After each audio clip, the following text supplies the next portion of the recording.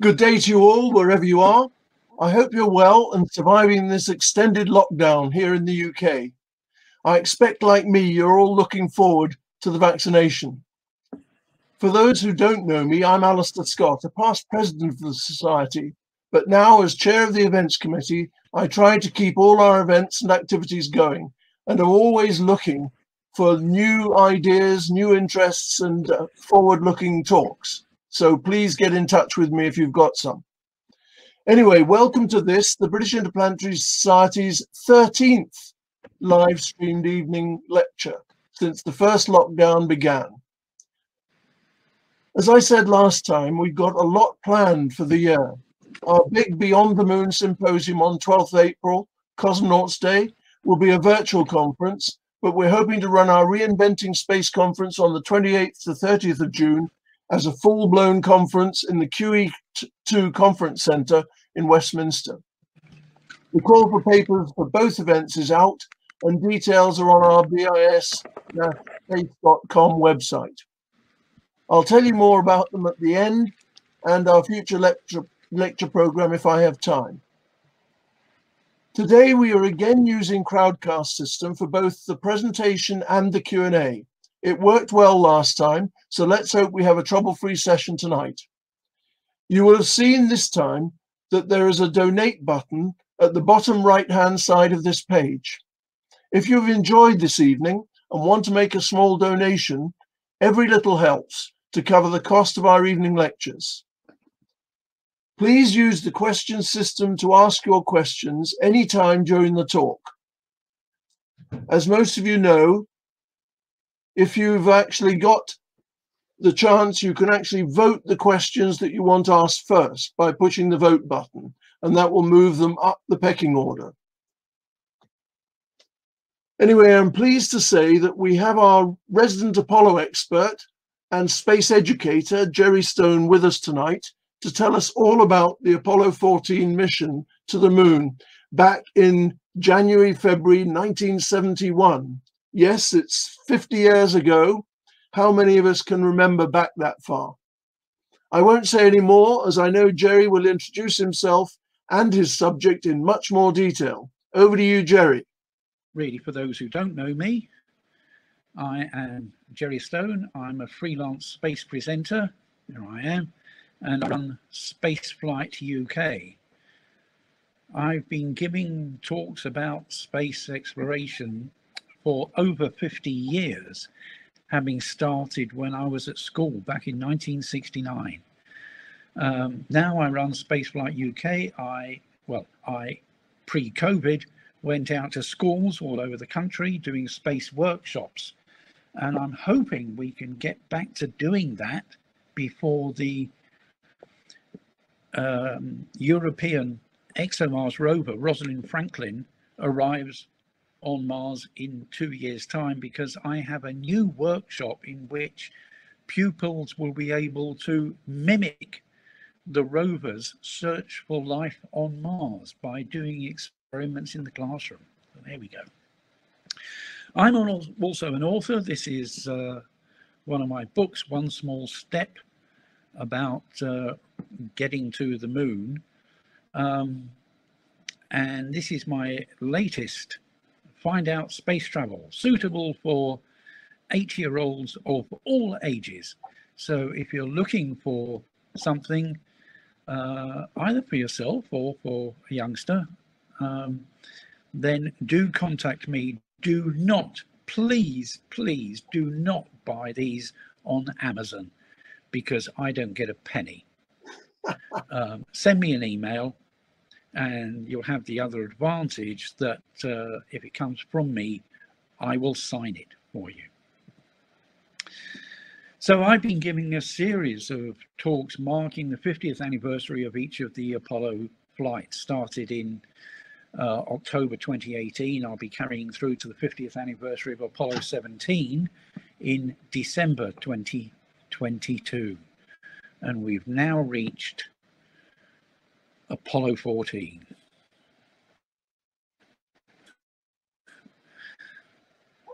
Um, when putting this together, I was wondering where to start, and I realized that I actually had to start back with the Mercury astronauts because the commander of Apollo 14 was Alan Shepard, who you can see there, one of the original seven Mercury astronauts, and as it turned out, the only one of them ever to go to the moon. He was America's first man in space 60 years ago this year, on May the 5th, 1961.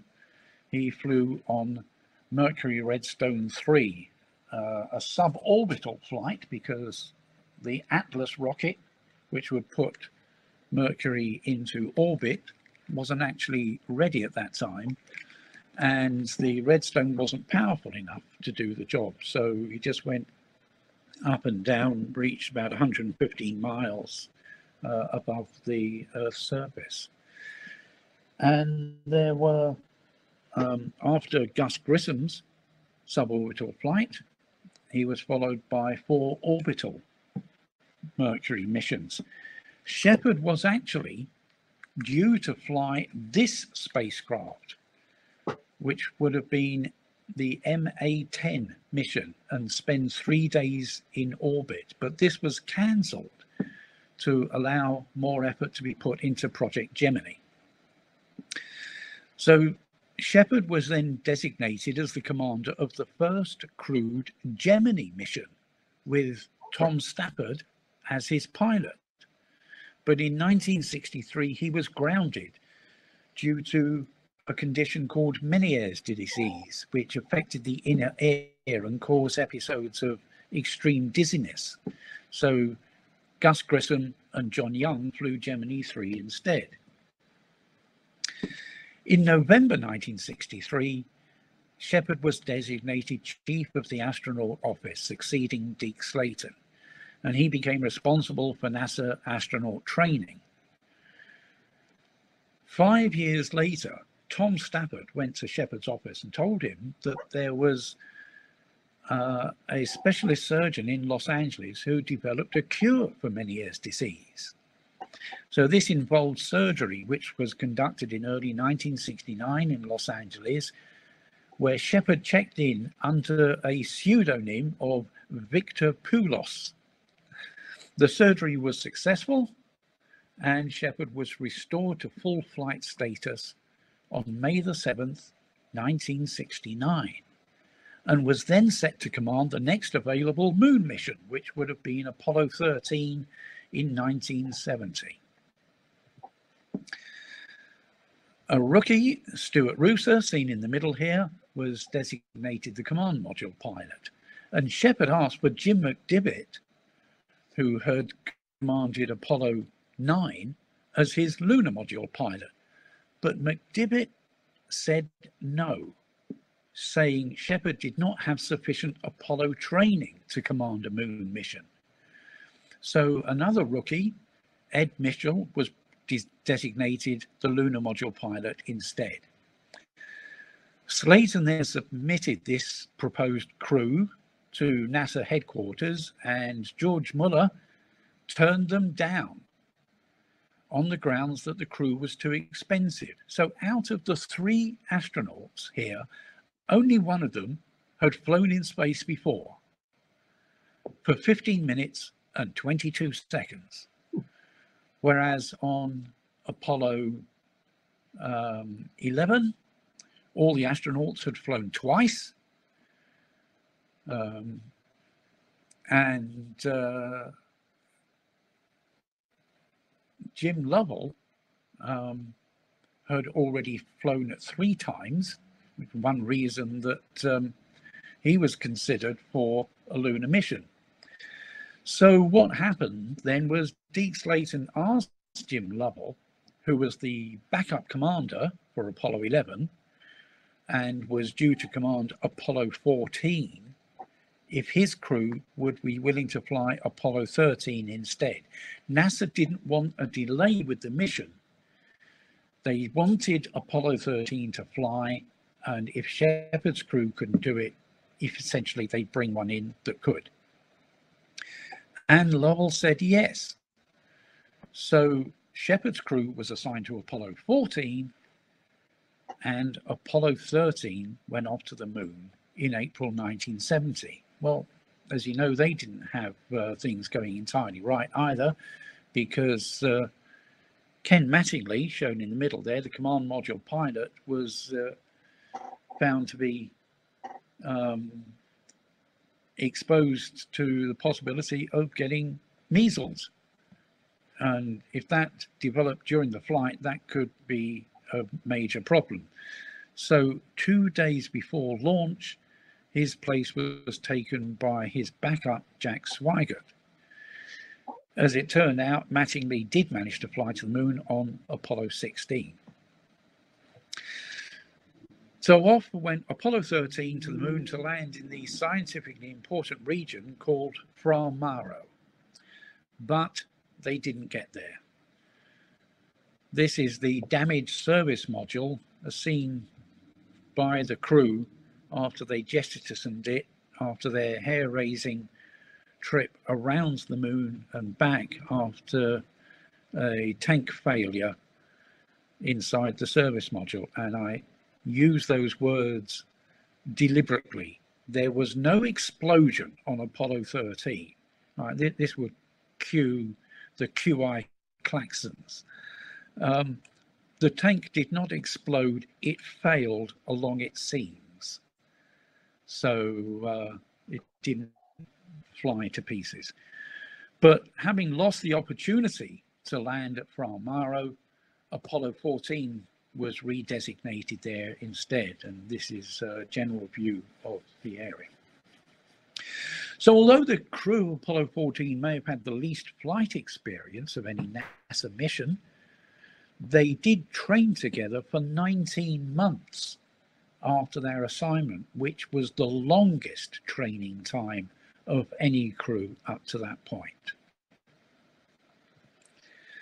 Here they are leaving the uh, mission operations uh, uh, building to go to the Astrovan to go out to the launch pad. And something that was pointed out was it rather looks as though Kirk Douglas is in the uh, the group watching them go out, but uh, I don't think that's really him. The launch took place uh, just after four o'clock in the afternoon, and this is the the 31st of January, which is why it's all already dark. The launch itself was uh, pretty much okay. Um, getting into Earth orbit was okay, everything checked out. And then the third stage engine fired again to send them off on their translunar injection. And that's when they started to have some problems. About three hours after launch, the service and command modules were pulled free of the adapter panels surrounding the lunar module, which are shown here in this ARCIS impression, uh, having hinged back, exposing the lunar module. And the idea is that the command module pilot, Stu Roosa, would then um, turn the command and service modules round. This oops, sorry, this is called transposition and docking. So we move forward, first of all, turn around 180 degrees and aim the probe of the command module into the drogue of the lunar module so that the two craft could dock together. They would then release the lunar module from the S4B and fire thrusters to bring the two craft back out and they would stay in that configuration en route to the moon. So this is uh, the docking apparatus. Um, and if you think that looks a bit complicated, well, if we concentrate on that, there we go. I mean, look, at this. Um, and it worked perfectly on every mission up till now. However, always uh, being a competitive pilot, Stu Roosa wanted to set a record for the lowest amount of propellant used during the transposition and docking. So he backed away, stopped, turned around, closed in, and here he is a view of a camera looking out one of the command module windows towards the target that Stu is looking at as they move in to dock.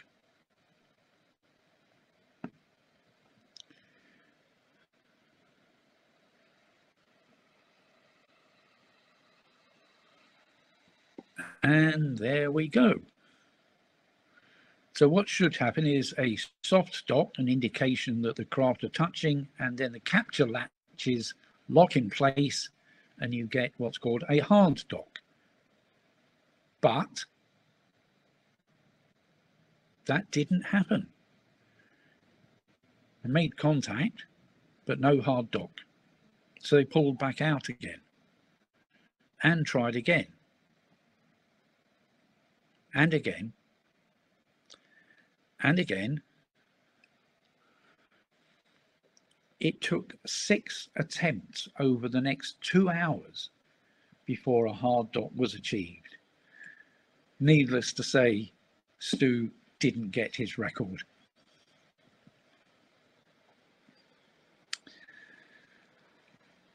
But they did capture the lunar module, and this is a view of the lunar module with Ed Mitchell and Alan Shepard inside after it had separated in orbit around the moon. Now, there'd been uh, a change here uh, from previous flights that normally the two craft would enter an orbit roughly 60 miles above the surface of the moon. And after they separated, the descent stage engine of the lunar module would fire to slow the craft down and put it into a new orbit, which would take it lower to the surface, where they would begin a powered descent. So they'd be firing the engine continuously to slow them down all the way down to the surface. Because of extra equipment that the lunar module carried on this mission, and because of uh, the fact that they would be going over a rather trickier um, surface and they wanted to allow more hovering time, the service module's engine, the descent propulsion, uh, sorry, the yeah, service propulsion engine was fired again to take the combined craft together into an orbit which had a low point of just nine miles above the lunar surface. So this would give the lunar module a lot more uh, fuel to use on its descent. However, the lunar module computer started getting an abort signal from a faulty switch. And NASA thought the computer might be getting spurious readings if a tiny ball of solder had shaken loose and was floating between the switch and the contact, closing the circuit. Well, they came up with the uh, standard NASA solution, which is that you hit it. Um, what the crew did was tap on the panel next to the switch, and it did work briefly, but the circuit soon closed again. And if this occurred after the descent engine had fired, the computer would think the signal was real and could initiate an auto abort. That would cause the descent stage to stop firing. It would separate the ascent stage and fire the engine for it to climb back into orbit. So NASA and the software teams at MIT worked to find a solution. Uh, the software was hardwired, so it wasn't something that you could um, retype into the computer. And uh, they came up with uh, a solution which was transmitted up, which made it appear to the system that an abort had already taken place. So any further abort signals would be ignored. So this wouldn't stop the astronauts piloting the ship, but if they did have to initiate a genuine abort, they'd have to do that manually. So this involved a fair degree of risk.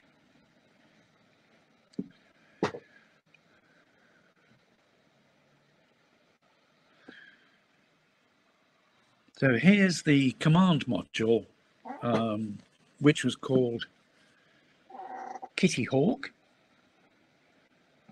And if we start the video, this is just after separation.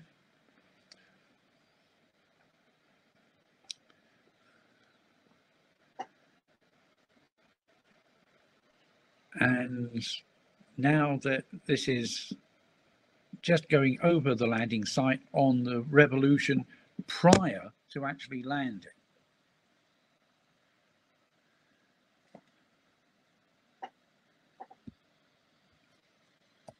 All right, let's restart that. And this is the, the filmed view out of the window of the lunar module as they come down. Now, in the middle there is Cone Crater, which was a major target for one of the EVAs. And although you can see there how it seems to be raised clear of the surrounding area, um, from ground level, it looked very different. A second problem arose during the landing when the landing radar wouldn't lock onto the surface. And several attempts were made to try and fix this. Without the landing radar, the mission rules said you do not even make an attempt. And eventually, uh, pretty much in the nick of time, they managed to get it working again. In an interview after the flight, Alan Shepard was asked whether he would have broken the rules and actually continued on and landing. And he just looked the interviewer straight in the eye and gave him the answer, which was, You'll never know. there you can see there's uh, dust being kicked up by the descent engine as Antares, the Apollo 14 lunar module, settles gently on the surface. There's the shadow of landing leg and they're down.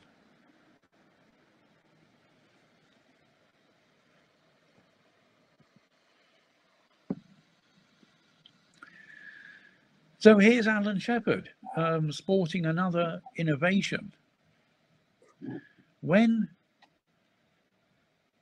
Armstrong and Aldrin were on the, the lunar surface and uh, 600 million people were watching live from Earth, I was one of them. In the Aldrin home, um, Buzz's son, Andy, uh, turned to one of the family and said, how can you tell which one is Mr. Armstrong? Um, because they were both wearing pretty much identical suits. Well, if the resolution on the TV had been good enough, the answer would have been Armstrong's the one with the camera. Um, but the simple expedient of adding red stripes to the commander's suit wasn't ready in time for Apollo 12. It would have been done on Apollo 13, but they didn't make it. So this is the first time we saw a red striped astronaut on the moon. Alan Shepard uh, finally got there after years and years of, of waiting. Uh, and uh, his words were, It's been a long way, but we're here.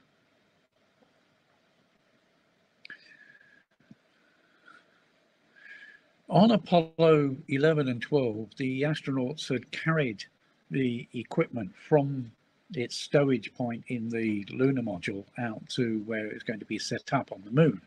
This is the ALSEP, the Apollo Lunar Surface Experiments package. on Apollo 14, they had yet another innovation. As you can see there and there, this device has two wheels. This is a hand cart, but of course in NASA speak it's not a hand cart, it's an MET, a modular equipment transporter. Basically, the uh, the astronaut comes down here and grabs the handle and can wheel the craft across the moon. Um, in fact, it proved to be um, rather difficult to use, and in some cases, the astronauts actually picked the whole thing up and uh, to, to move it around. Something you can see here is uh, this is a, a rod which um, uh, Shepard is holding, but Mitchell put to uh, a different use later on. I'll tell you about that. So this had a number of experiments on it. There's a passive seismic um, experiment, basically a seismometer um, for measuring moonquakes. There's also an active seismometer, um, and I'll come back to that in a second. Um, an, an ion detector and uh, an ion gauge for measuring density and energy of ions in the lunar environment, so charged particles around the moon. Um, a, another one for measuring energy of solar protons and electrons reaching the moon, a magnetometer for measuring variations in the lunar magnetic field, and a laser beam reflector similar to the one left by Apollo 11 for long-term measurements of the distance from the Earth to the Moon. Um, and it's from these uh, laser reflectors that we've learned, because we've been doing this for over 50 years now, that the Moon is actually moving slowly away from the Earth. And the reason for this is because the Moon raises tides on the Earth, and essentially the, the, the movement of those water over the Earth's crust causes the Earth to slow down. Uh, a major culprit for this is the Irish Sea being um, a, a large shallow area. The result of the Earth's rotation slowing is that the moon moves further away at the rate of 3.8 centimeters per year, which by coincidence is about the rate that your fingernails grow. So you might try betting with someone that you have something directly in common with the moon. This is the hub uh, of the ALSEP station. This provides the power, as you can see, from the ribbon cables that snake out from the bottom that go out to the instruments, either to provide direct power for them um, or to uh, to get data back, which will be transmitted back to Earth. here's Ed Mitchell uh, with uh, a map exploring the surface. So having set up all the ALSEP experiments on day one, the objective of day two on the moon was to reach Cone Crater.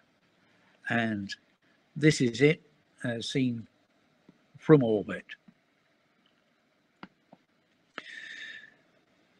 Unfortunately, the astronauts couldn't find it the maps that they had, which showed views like this, seemed to imply a, a fairly well defined edge to the, the crater.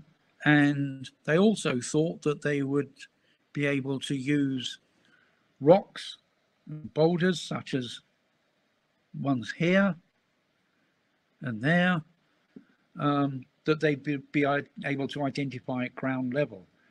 Whereas in fact, it turns out that uh, the reflectivity of uh, the lunar soil and rocks from ground level was completely different. And also, as we know, uh, we don't have big jagged mountains on the moon, as had been portrayed in artists' impressions on the grounds that there was no wind or rain to erode them. But what had not been taken into account was billions of years of micrometeorite impact, which had worn them down. So we only have gently rolling hills for the most part. And this picture, which because of the position of it, um, actually shows the rim of Cone Crater over there. Um, and the rest of Cone Crater, that is not the far side of it. That is the uh, the vast lunar horizon. So the rest of, of the Cone Crater actually dips down there. It was estimated that despite spending a couple of hours searching around uh, for it, um, the astronauts had actually almost reached the, the rim without realizing it because the surface was so undulating. It's such a great pity and it was a disappointment. So in this picture taken by the Lunar Reconnaissance Orbiter, you can see there is the descent module of uh, Apollo 14. You can even see the astronauts' tracks because when astronauts move out across the moon, it's not just footprints, but they will kick up dust. And as they disturb the soil, that creates a continuous trail. So this is where the ALSEP was set up.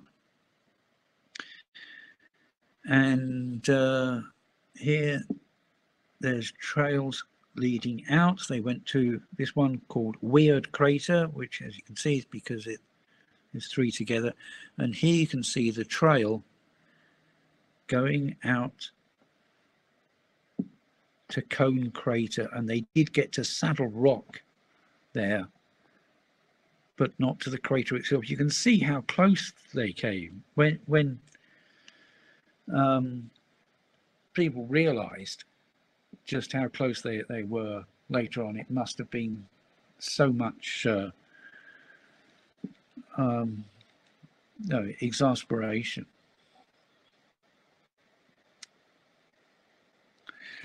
But there, there was one other completely unexpected bonus from Apollo 14.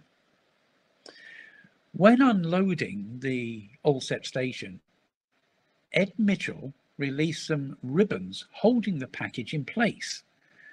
And here's a video that was broadcast of it. So let me see over here, there's the MET. You can see there's the wheels uh, support.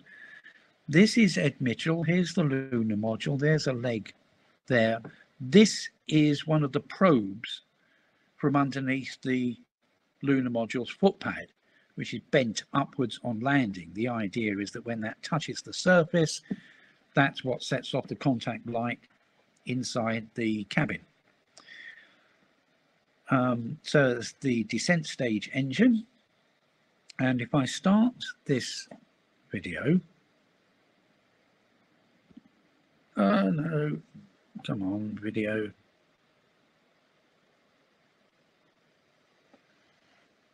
Yes, no. Oh.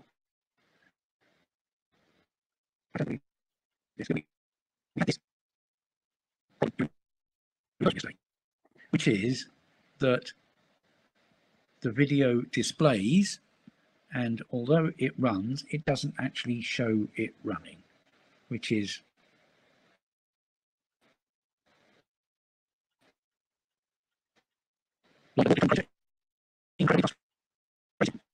because and I'll try it once more.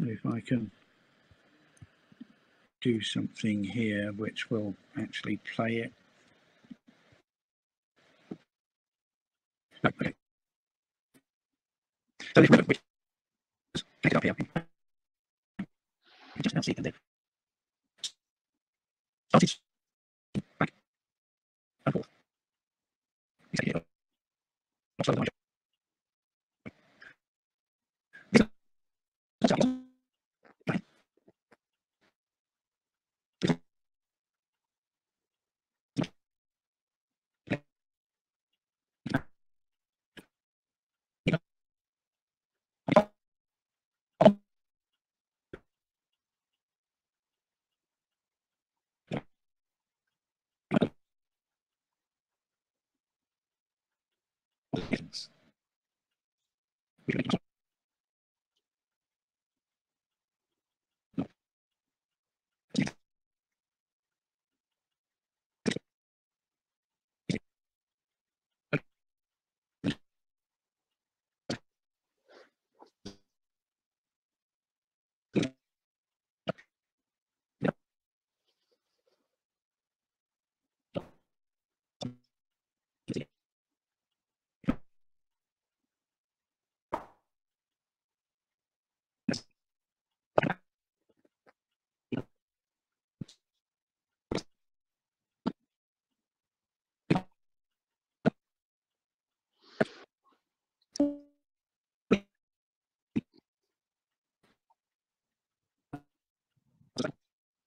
I'm afraid that's upset the sound, Jerry.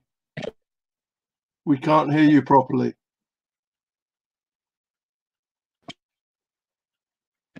The- sound has gone all wrong. Can you can you go to another slide?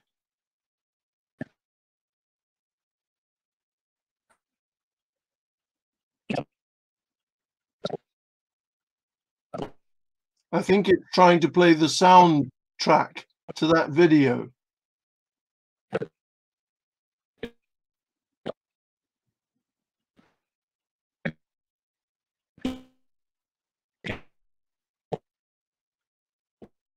Can you refresh again, Jerry?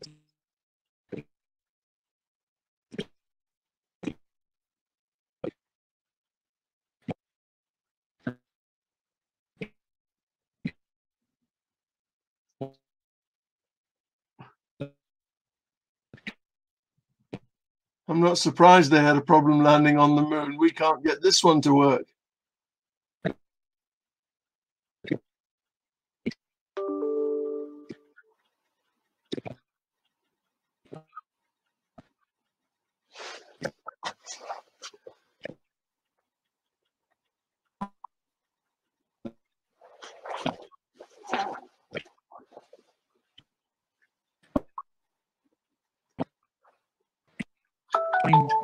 This baseball.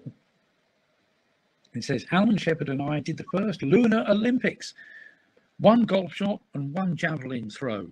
I won with the javelin. um, as it turned out, both the javelin and the ball landed in a crater. Uh, I don't know if that counts as a, a, a bogey for Shepard or an eagle. I'm not sure, but anyway, um, but the javelin went a bit further, so uh, he claims he won the Lunar Olympics. The the crater was actually subsequently named Javelin Crater. And there's uh, apparently an image taken from the window of the lunar module which shows the ball and the javelin side by side. Um, now, what I haven't shown you, um, but let me see, if we go back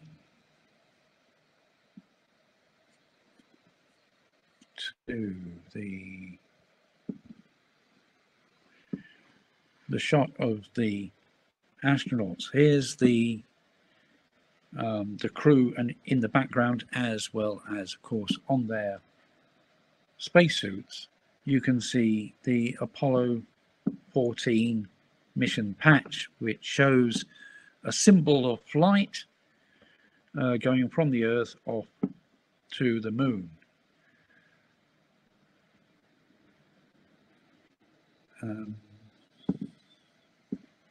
well, this was one of the few missions where the backup crew produced a patch. The backup crew here was uh, um, Gene Cernan,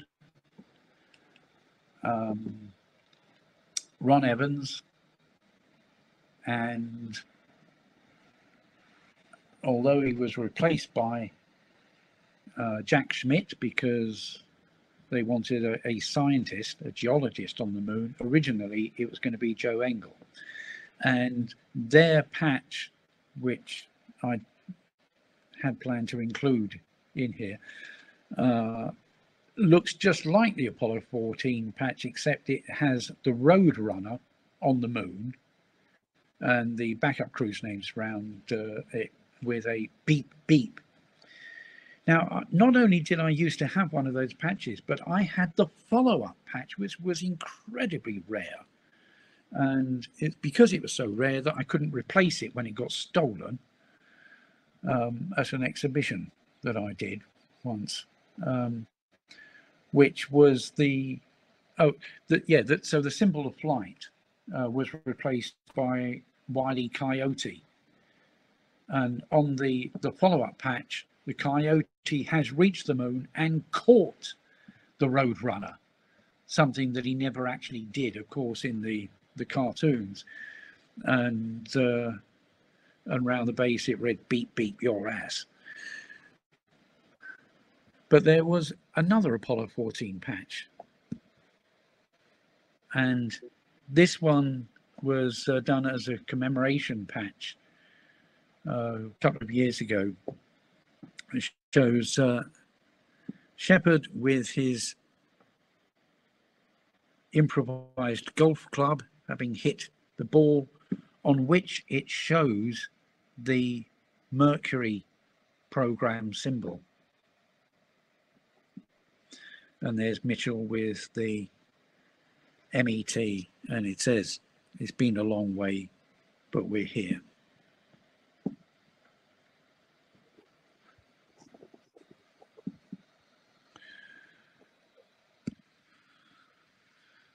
Well, the crew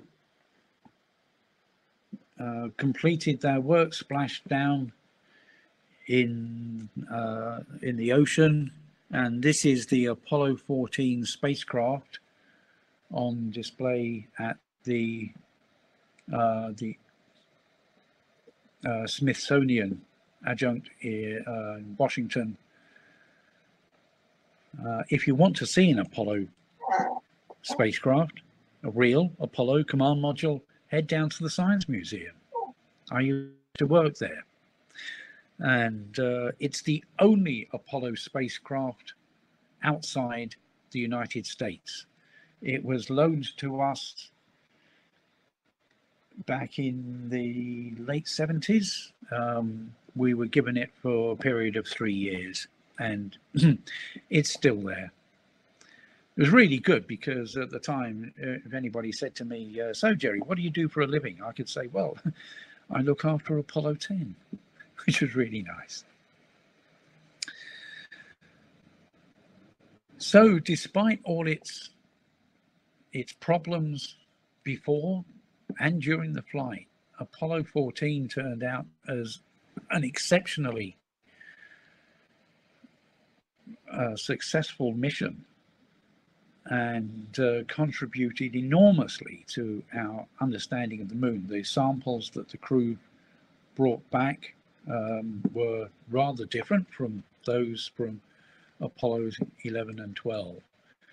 And having done this, it was degree, decreed that um, it was okay to continue with the advanced exploration of the moon, which would take place with what were called the J type missions, Apollo 15, 16, and 17, which uh, put more wheels on the moon. But in this case, they the astronauts didn't have to pull them; they could ride in them. The lunar rovers, uh, um, which greatly enhanced their ability to move around on the surface. Well, we're about to see another craft move around on the on uh, a planetary surface um, because on the 18th of February, the Mars 2020 rover Perseverance is due to touch down on Mars. Um, and when it lands, then I'm pleased to say that yet again, I will as well, because my name is on the spacecraft. Not only that, but so is the name of my granddaughter, Phoebe, who I always claim is named after one of the moons of Saturn. Um, she will be 12 in May, uh, very keen on science and space. I wonder where she gets that from. Um, and uh, with perseverance will be ingenuity, the name of something amazing. It is a helicopter. Uh, this will hopefully make the very first flight above the surface of another world. That's really quite amazing. Now, today I spent a frustrating couple of hours trying to book transport to get me to my COVID 19 vaccination, which is taking place tomorrow. And I mention that because something else that's on ingenuity is this little plaque. Um, this commemorates the impact of COVID 19 and pays tribute to the perseverance of healthcare workers around the world. So it shows the symbol of medicine and healing with the above it there's the craft on its way to Mars.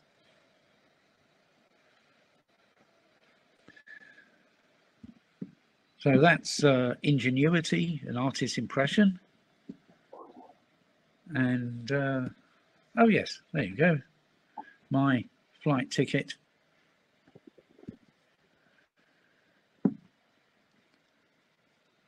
and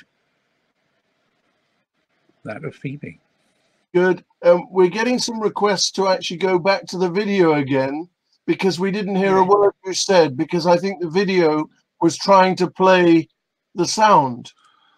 So um, have you got the, the script you can read out to us? Or I'm, I'm I see in the chat someone has found the actual link to that video. It's all right.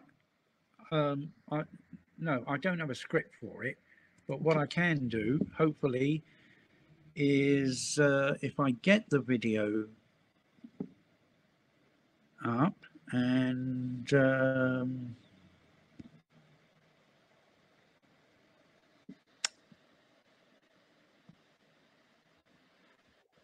hang on. Oh, here we go.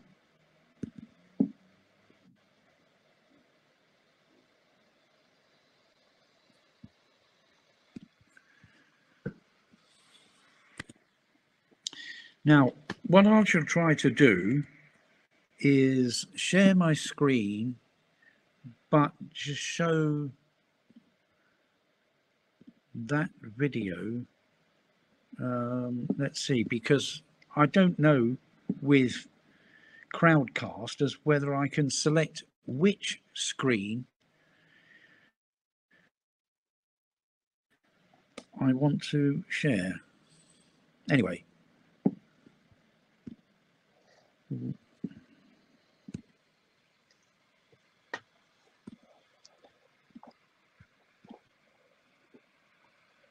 Mm-hmm. Okay, can you see this? Yes. Okay, here we go then. So there's the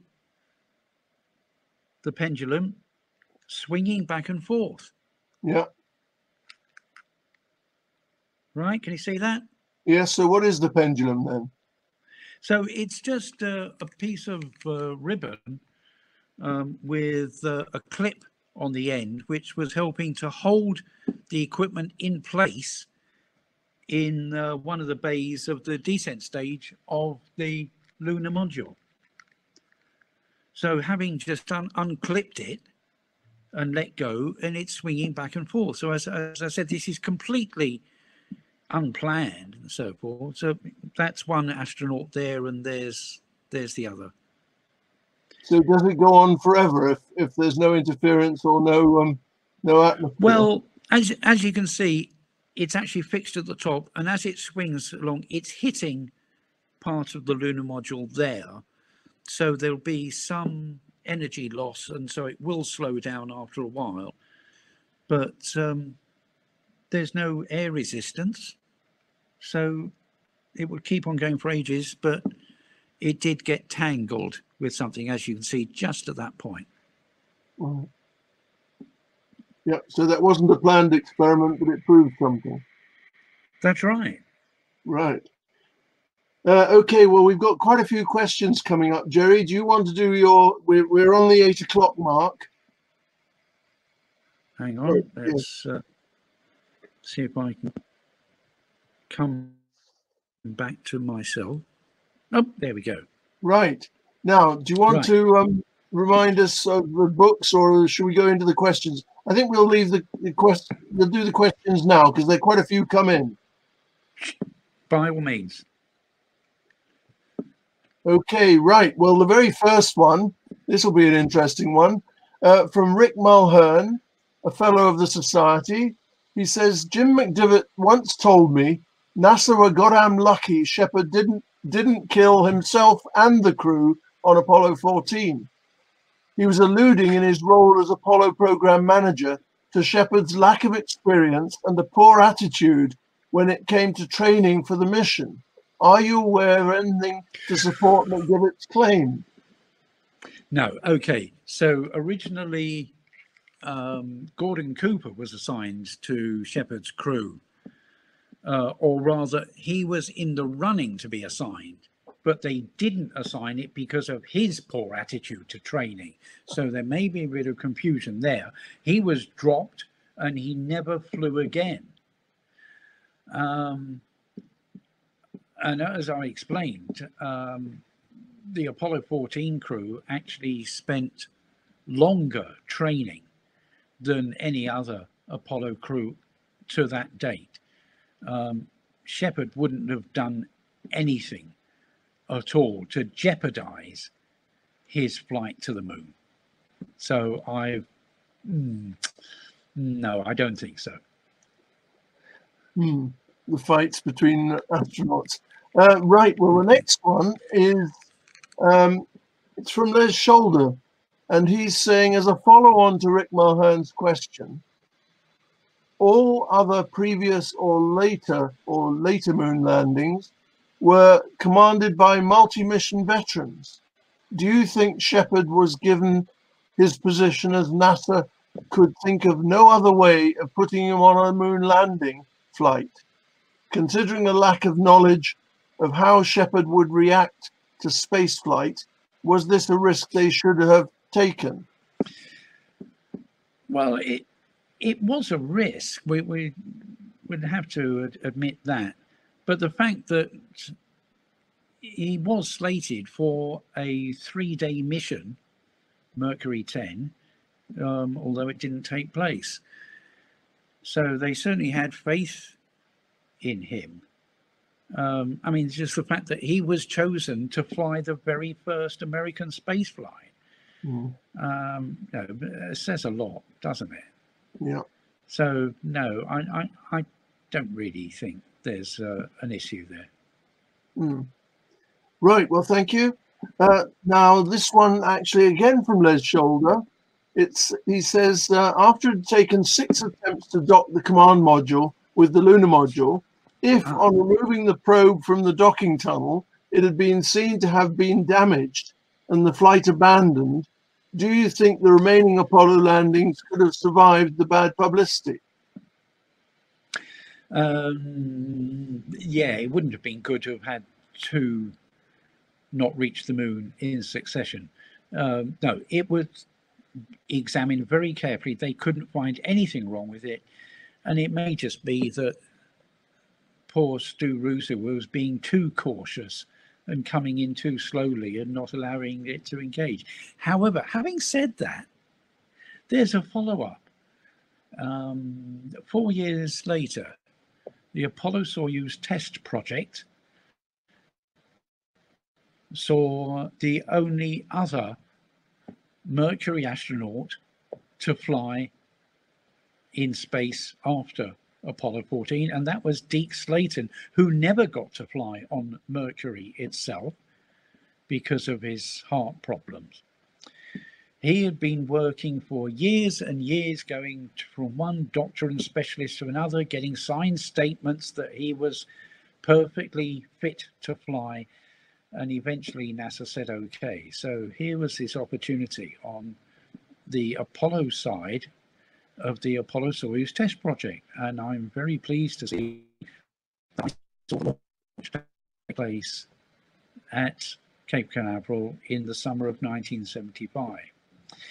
Now, as it happens, although it was a new Apollo spacecraft, the command and service modules, they used a docking probe which had been flown on a previous flight, Apollo 14. And guess what? they rather had a lot of trouble in docking with the adapter, mm. um, but managed to, to do it eventually. So, yeah. this, although it, it looked fine and it did eventually operate, there obviously was some kind of, of presumably mechanical problem. Mm. Mm. Right, that's it. Thank you very much. Um, now we've got one here okay. from Fabrizio Bernardini, who actually he says he regrets he's going to have to run, so he's not um, he's not going to be able to um, respond immediately, um, but he hopes we'll give an answer that he can understand. Right, he starts by saying, regarding the transposition and docking, not sure Roosa could look at the docking target at the same time they were filming it. Is that correct? Maybe the clip is from another. Yeah, but, no, I did say this is from a window. So the Apollo command module has five windows. So they were looking at it and uh, Roosa's view was directly down line of sight of the target. So this one was very slightly at an angle. It probably doesn't show too much in the video. It may have been uh, the next window to where he was. Hmm. Yes, so he, he obviously had a direct view but the camera yes. probably didn't. Okay. Yes. Yeah, a bit like our Soyuz training module. It's uh, yes. You know, which is more fun. Yes. No, uh, uh, anyone who hasn't tried the the BIS Soyuz uh, ISS docking um, trainer, then uh, do give it a, a try when, as and when you get the opportunity. Yes, or we'll bring it to you one day when we're allowed back. I'm, yeah. I'm uh, hoping it's easily transportable. Um, right, I've got a, a, one that's race to the top here. Sorry. It's actually um, a comment. It doesn't right. actually say who sent it, but can you expand slightly on the geological discoveries made as a result as a result of Apollo 14? Uh, well, basically, to say that they picked up various types of breccia on the surface um, I did not include um, a lot of detail of that in my presentation on the grounds that uh, it is generally available and um, it's probably better to read it than hear someone tell you. So um, obviously, first step, um, there's Wikipedia, of course, but I will strongly recommend everyone to look up the Apollo Lunar Surface Journal. This is the world's most detailed site for information about Apollo and the landings. You can find the full transcripts of uh, the entire flights. There's all the photos. They have video sequences, uh, analysis, and also for most of the Apollo astronauts, they have transcripts of where they've sat with them, going through the videos and information and getting their comments about uh, the flight and what they did. Um, it's an incredible resource and uh, really deserves all the, the praise it can get. The Apollo Lunar Surface Journal. Mm. I thought it's not not one of your books then. Uh, no. Wish it no. wish it was. I, right. I've got another question here from Rick Mulhern, who says, "Does Jerry have an idea as to how many beep beep patches were carried on board Apollo 14?" Mm, I don't know the number. I know that they did take some of the backup patches with them. No, um, I'm trying to think where you might find that out. Possibly in the Apollo Lunar Surface Journal. Yeah, well, I suppose we'll have to look it up one day and see whether it's uh, got any fact or fiction. Um, right, another one here from Alex Wood. Why did MET prove so difficult to use? Well, th- they did actually rehearse with it on board one of the uh, um, the, the what they call the zero G training aircraft. Although, as the title of my forthcoming book um, will point out to everyone, there's no such thing as zero gravity. They, it, even though NASA has it painted in great big letters on the side of the aircraft, um, it, it, we should be referring to it as weightless.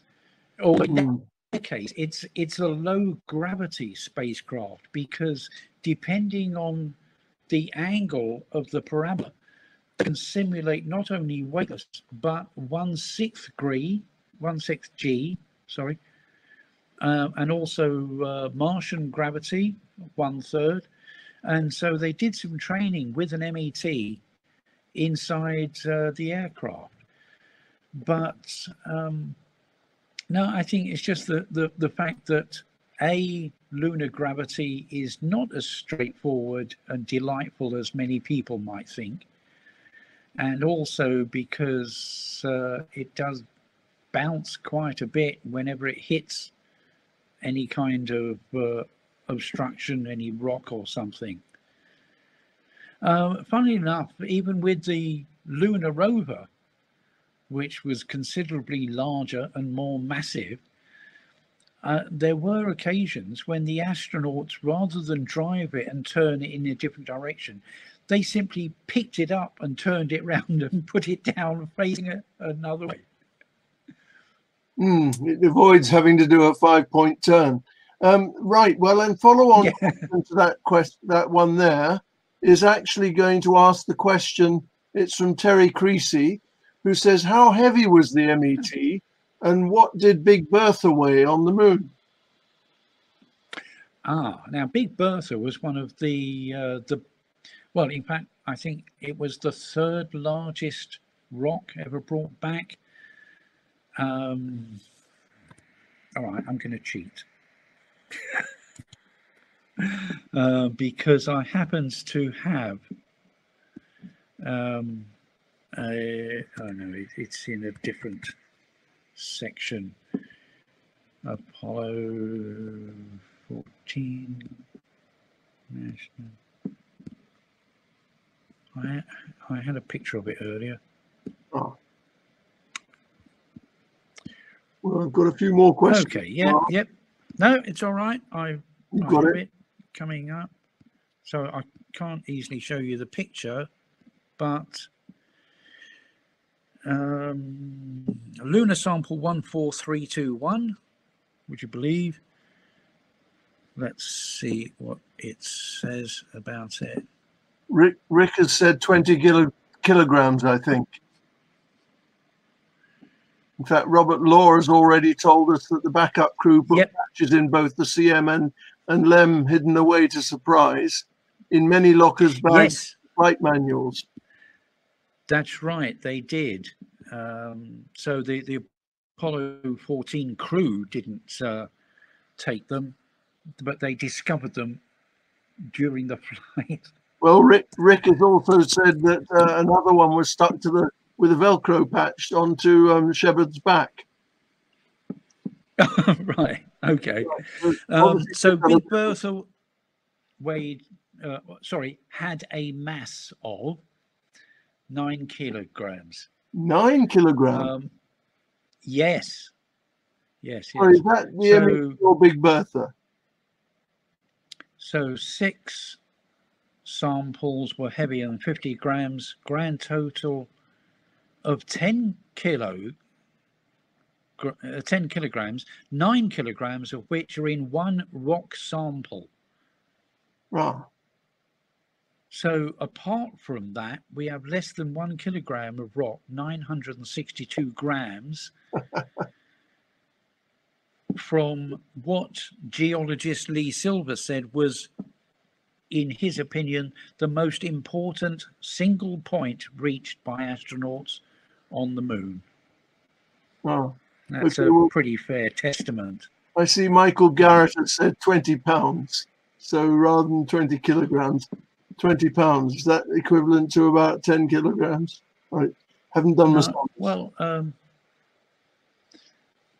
two and a quarter pounds of jam weigh about a kilogram. I remember that from my government messages ages ago. So yeah, well, there you go. Okay, right. Um, just see some more questions coming up. And um, why did the MOT, MET prove so difficult to use? That's Alex Ward. We've had that one, haven't we? Yeah, we've Um, done that. Yeah. If they had such problems docking in the first place, were was th- were there no concerns over whether there would be similar problems returning from the lunar surface to the dock in orbit? No, they basically said, right, when you come back again and you go into dock, just make sure you don't go in nice and softly. Just go Round in and in. make sure the thing connects. Yes, we have that problem on the Soyuz uh, docking uh, station. I think we'll have to ask Fabrizio. Oh well, it, sh- sh- it shows how accurate it is. Then. Yeah, I've bounced out many times. Um, you have to be exactly the right speed going in, so it is a learning Yes. process for that one. Um, right, let's go on to the next one then. Uh, how big a risk? This is from Patrick Mahon. How big a risk to the mission were the five failed attempts at docking the CM and LM before the sixth attempt worked? What's the worst that could have happened? that they couldn't get a hard dock. And in which case, uh, what do you do? Do you do an EVA and go in the front hatch of the, the lunar module? No. Mission control would not have allowed that. The landing would be off. Mm, And in that case, probably what they would have done was whether they jettisoned the lunar module or not, they would have probably still gone into orbit around the moon and done observations from orbit, and maybe even including firing the engine to take it down to just nine miles above the surface so that they could get very close up details. I mean, as it was, whilst um, Edgar Mitchell and Alan Shepard were on the surface for two days. Roosa was orbiting the moon and uh, doing a lot of observations, particularly of future planned landing sites. So that information would have been very useful still. Yeah, yeah. Well, actually, Rick's Rick's put another couple of things. He says it's believed the docking issues were the result of ice on the capture latches. After initial docking, the probe was cleaned and the moisture dried off. Nice, yeah. Yeah, so um, that's the problem. I have that problem with my car.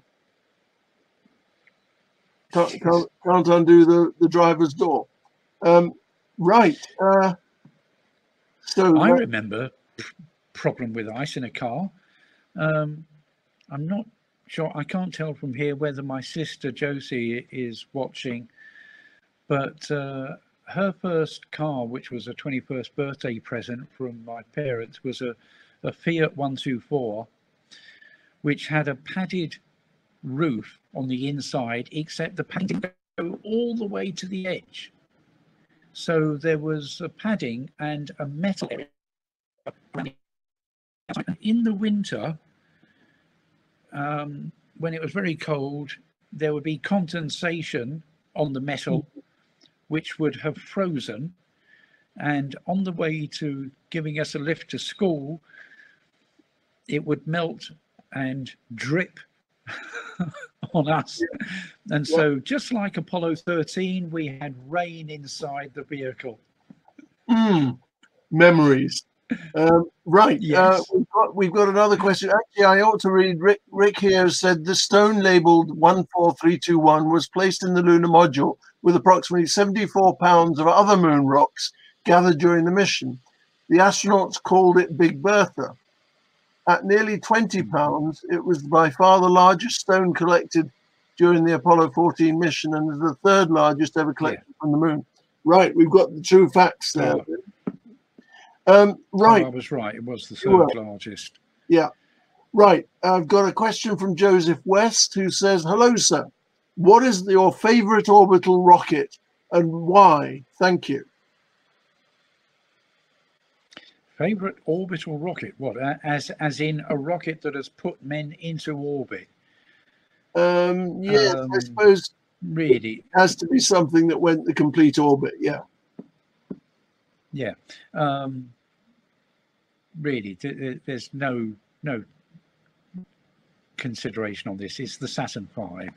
Mm, Seven and a half million pounds of thrust, uh, 363 feet tall. If you've ever been to St Paul's Cathedral, not only can you go up into the dome, but you can go up to the top of the dome underneath the cross. The top of that cross is 365 feet above the ground because many cathedrals incorporate numbers to do with the calendar. So they might have 12 huge windows, for example. So 365 feet. The Apollo Saturn V was just two feet shorter than that, uh, about the size of a naval destroyer.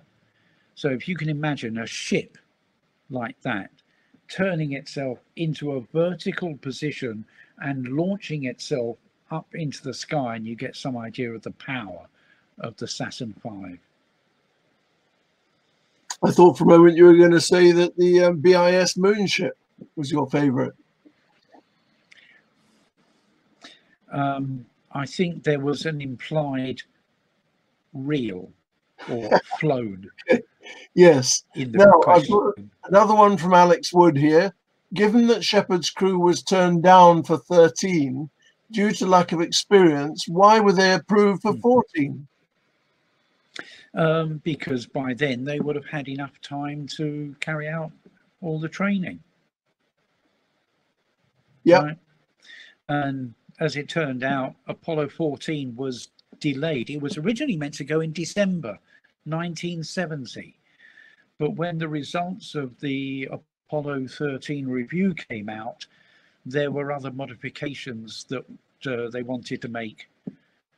And so that uh, delayed it for a month. Right. Actually, John Bonser's put a comment here uh, regarding Apollo. John. John Bonser? Yes. Uh, uh, regarding Apollo 14 lunar surface activities, the Royal and Ancient Golf Club at St Andrews wrote to Alan Shepard Yes. to politely point out that he had not replaced the divot created on the lunar by his golf shot. Yeah, yeah. Well, uh, that happened Yes. on my golf course, which was on uh, in in Dollar, fairly near you, John. Uh, right. Um, Fantastic.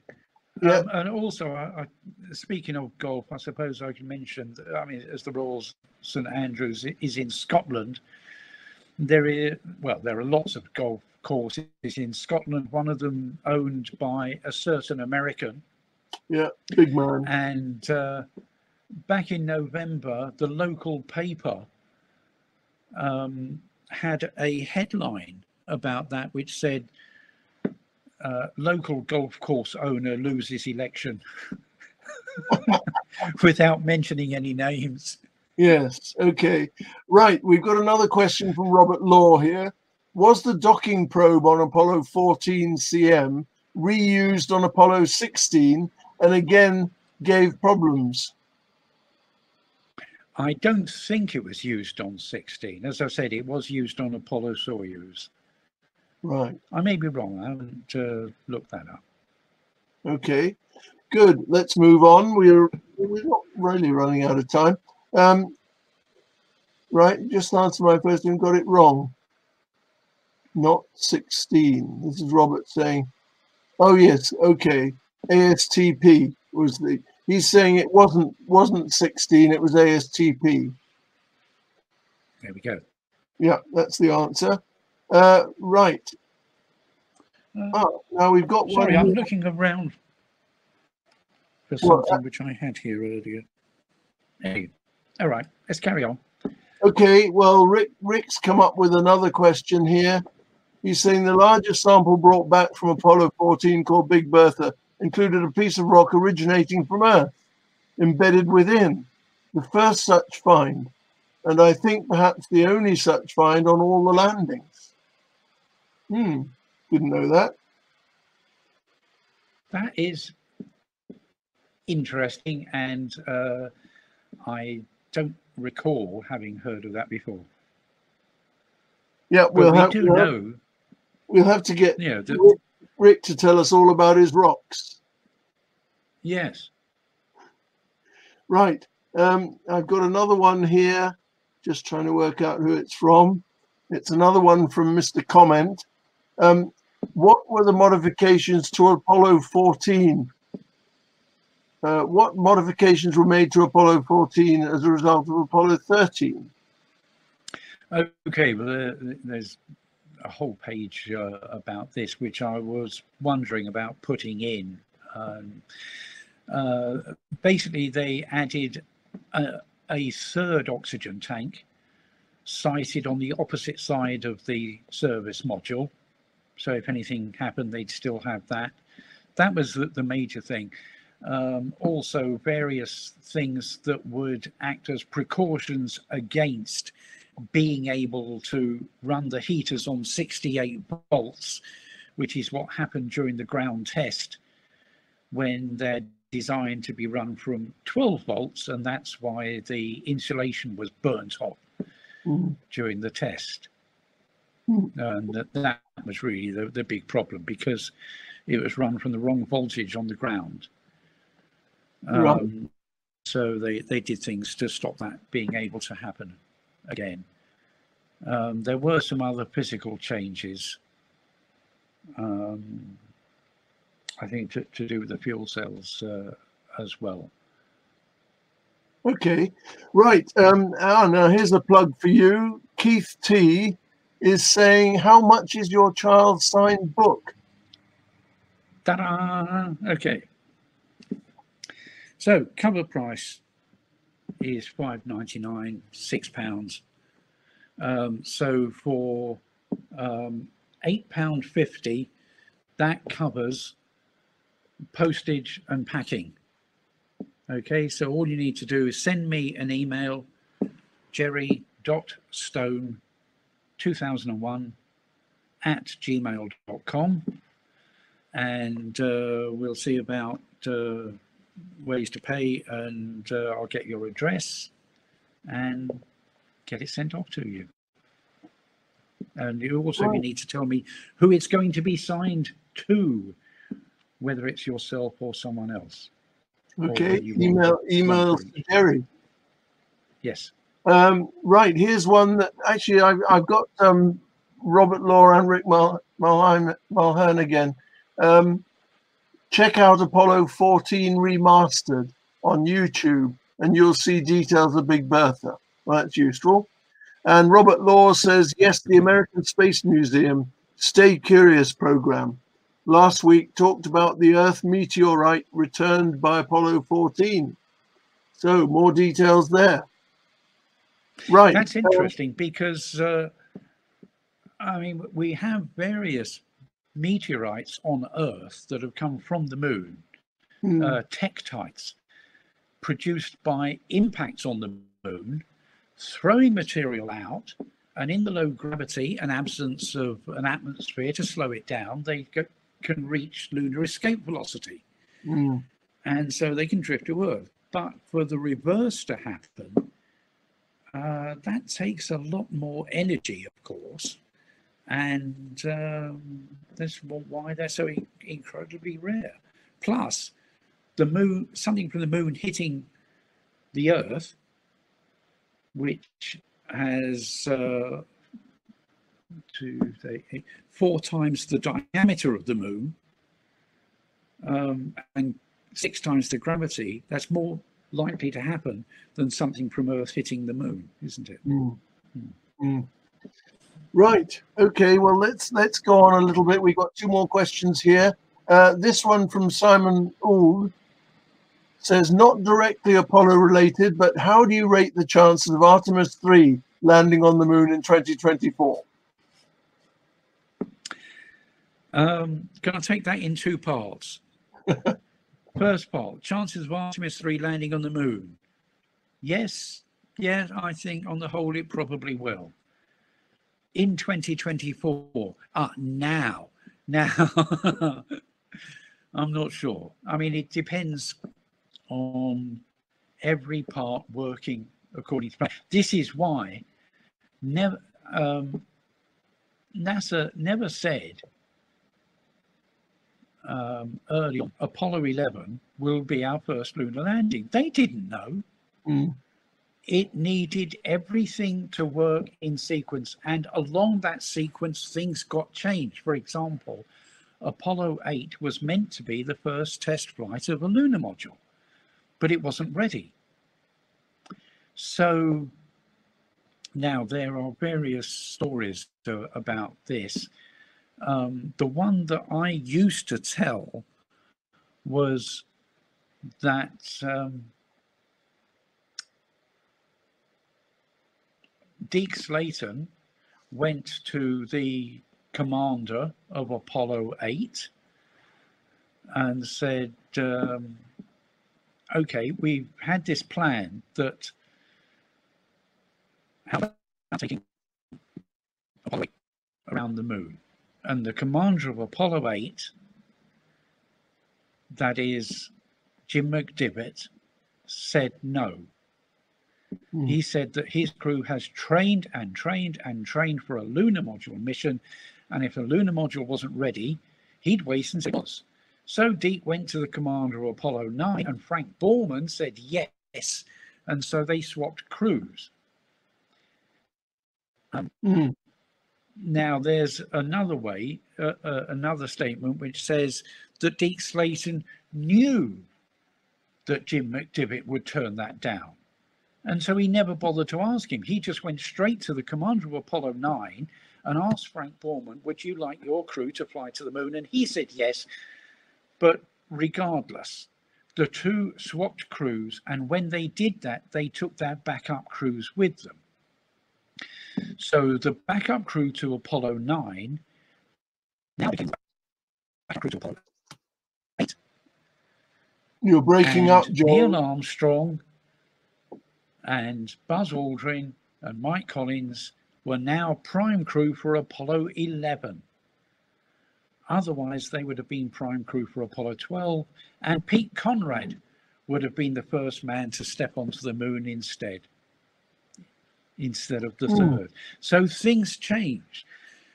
So, we, despite the problems with the engine test for SLS recently, eh, they've said that uh, they happy that they got the data that they needed.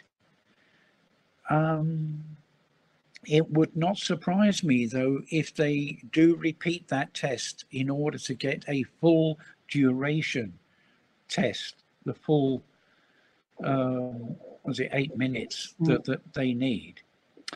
So if they do that, that may delay the Artemis 1 flight, which is due currently in November, and that may slip, and that may slip the date of the first crew flight, etc., etc. Mm. 2024, I would say it could be done. It's a bit ambitious. It all depends on who's president at the time. Well, no, 2024, it'll still be Biden as president. Um, we, we've yet to see, uh, I think, about who's going to be the new NASA administrator um, and his views. But um, the other thing is, of course, whether some Musk guy might slip in with a starship and land before then.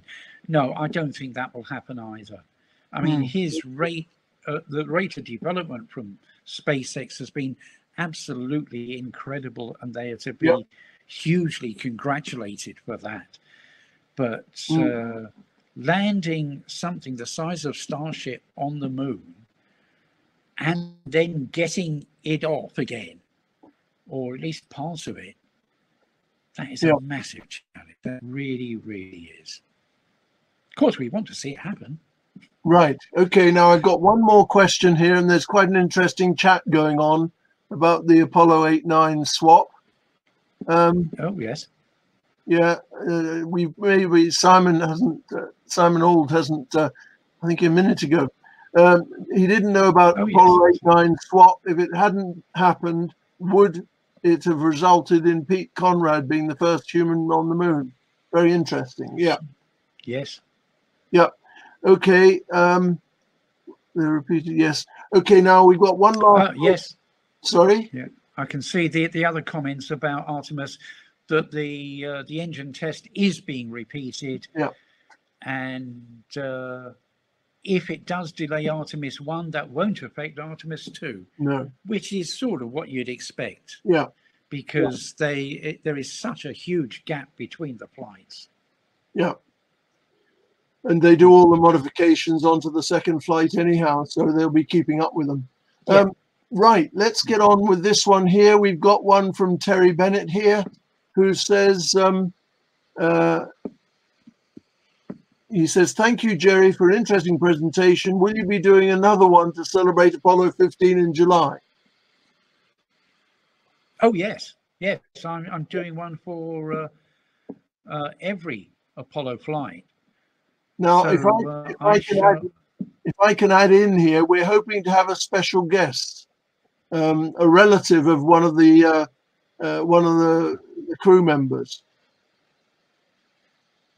Ah, okay, because the BIS has a long-standing um, Relationship. engagement with with uh, Al Warden, who sadly passed away last year.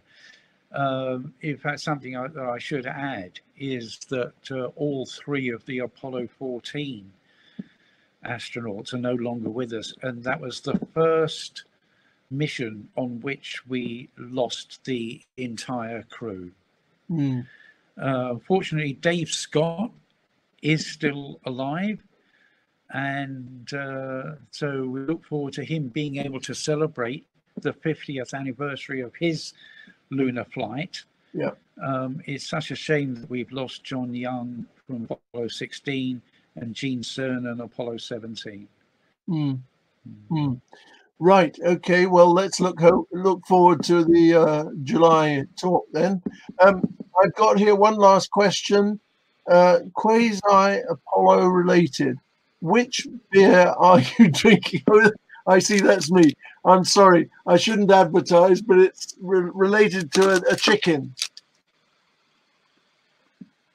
Um, right. I think that's it, Jerry. I can see they've got all the comments have been completed. We still have 169 people uh, looking in. So um, they were obviously impressed by what, what you had to say.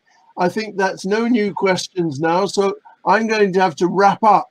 If I can just find my own notes, I think they're somewhere here on the screen.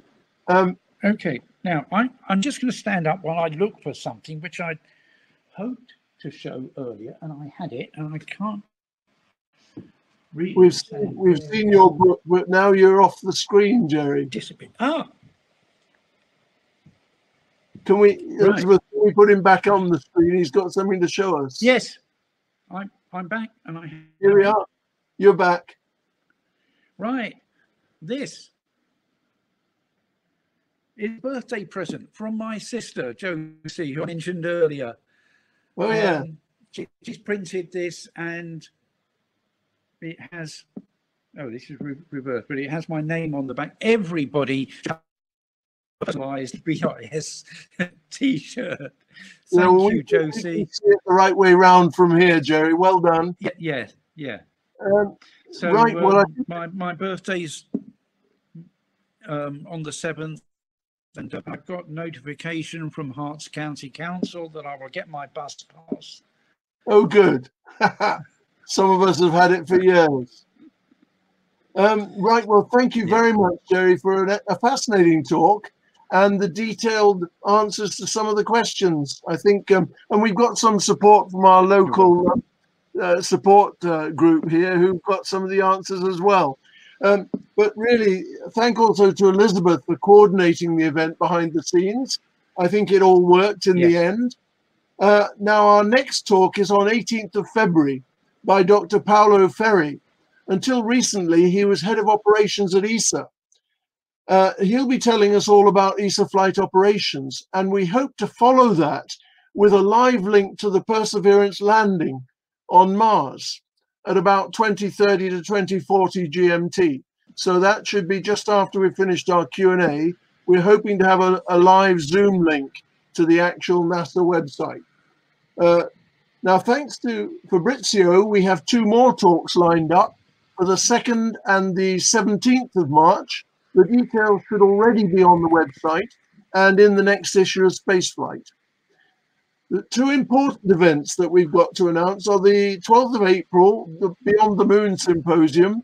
The call for papers is out still, and we're still looking for ideas on where we should go uh, in the future within the solar system, probably, uh, starting from the moon and where we might go from there. And also, we want to look at the 10 barriers highlighted in Jerry Webb's recent article in Spaceflight radiation, extended flight time, lack of gravity, self supporting habitats, infection, very uh, true to the topic, that one, mental survival, and reliance on machine intelligence and economic, socio cultural, and political religious effects. So there's a lot to be held in that one there, and we're hoping to get about 10 or 15 papers through in the day. Now, on the 28th to 30th of June, the Reinventing Space Conference is still on at the QE2 Conference Center. We hope that we can do it face to face, and we're look, looking for papers on, I think we've got about 40 so far, but we could do with a, a few more. And we're looking at the environmental and sustainability considerations in relation to space, including protection in our, protecting our environment and space debris, and the space support for economic recovery in post COVID 19 era. So there's a lot to be thought about there. And I'm hoping to get some papers in from the medical fraternity, aerospace medicine, because they really do know what we're going to have to put up with on our long distance flying. Now, on finally, um, we've extended the deadline on the both the uh, symposium, the Reinventing Space Conference, and also on the Arthurs.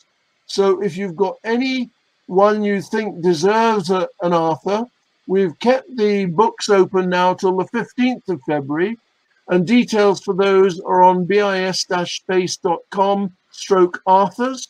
And so you should be able to make any any uh, uh, nominations in there. So we hope to see you all at the Reinventing Space Conference dinner when we'll be presenting these awards in the conference centre at Westminster on the 29th of June. So hope to see you all there. And thank you, Jerry, and thank you, Elizabeth. I think it's about time we signed off. Thanks a lot. All the best. Have a good evening.